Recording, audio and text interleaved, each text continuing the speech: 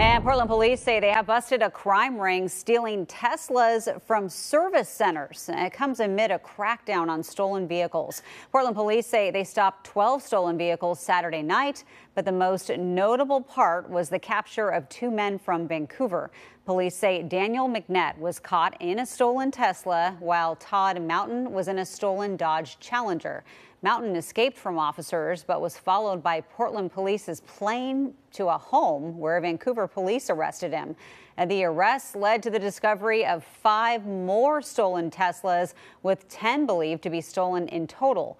Police believe they were taken from service centers and the car's GPS antennas were disabled to prevent tracking.